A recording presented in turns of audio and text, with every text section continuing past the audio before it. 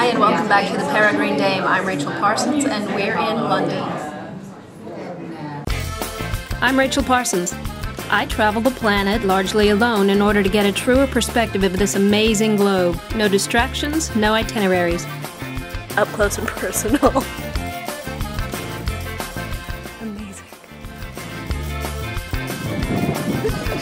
and I'm ready to show you that traveling solo doesn't have to be so scary.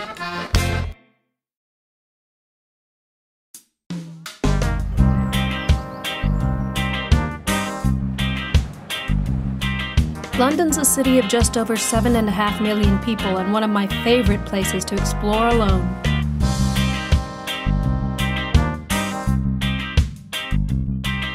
The history, beauty, and architecture rival any city anywhere, and when you happen to catch it on a sunny day, there's nothing that compares.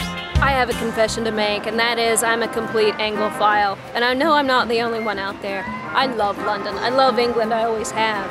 And summers like this summer are perfect. They're so precious because they're so rare. But it is warm, it is sunny, everybody is outdoors, and it is lovely in London. Which means, of course, that I'm heading for the nearest dankest, darkest cellar I can find. Gordon's Wine Bar is thought to be the oldest wine bar in London, which makes them think that it might be one of the oldest in the world. It's been in its current form here in the Kipling building since the 1890s. The building itself has been around since the 1600s when the Bank of the Thames actually came up to it and functioned as a warehouse. Rudyard Kipling famously wrote The Light That Failed in the parlor above the bar. Gordon's Wine Bar is usually my first stop when I get to London because it combines two of my favorite things history and wine.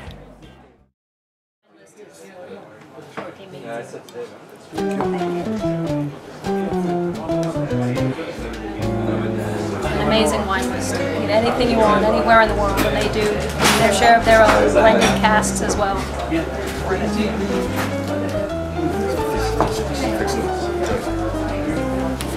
das Ding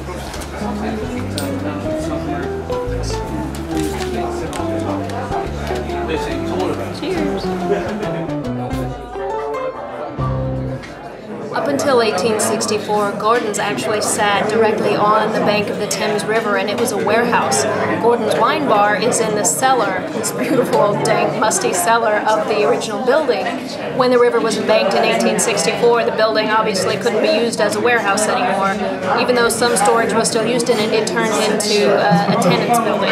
That's how Rudyard Kipling ended up living up here. It's basically stayed exactly the same since it opened in 1890. Every once in a while, some of the great old ads and newspaper clippings that are out on the walls rotate, but not very often.